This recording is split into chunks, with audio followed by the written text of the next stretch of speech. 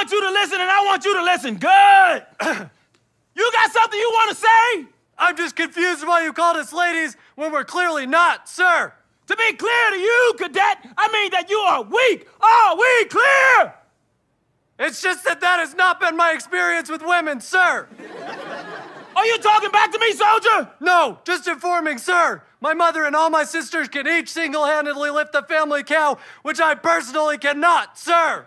What are you telling me, boy? That calling me a lady implies strength that I have not yet achieved, but I am honored by the compliment, sir. Drop it, give me 20! Yes, sir. Now, don't any of the rest of you try and get smart with me. You are weak. You are nothing. You are little helpless babies. Thank you, sir! Excuse me. I said thank you, sir! I called you a baby. And I am sincerely grateful, sir! Are you trying to be funny? No, sir! Babies are full of pure potential! Not to mention adorable, sir. You are pathetic. Drop and give me 20. Yes, sir! Allow to make one thing clear to your thick heads. I am not complimenting you because there is nothing to compliment. You are a bunch of maggots. That is incredibly generous, sir. What? Maggots are highly versatile and can survive in almost any condition, sir. On the ground. Yes, sir. You are all piles of dirt. Thank, you, sir! We don't deserve you, sir! That is not a compliment.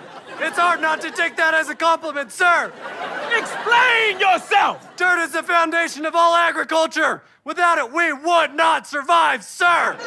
Let this sink in. You are filthy. You are scum. That is the nicest thing anyone has ever said to us, sir. That is not a. No matter what, scum always rises to the top! Thank you for being so nice, sir! You are a good natured man, sir. You have become like a good, nurturing mother to us, sir.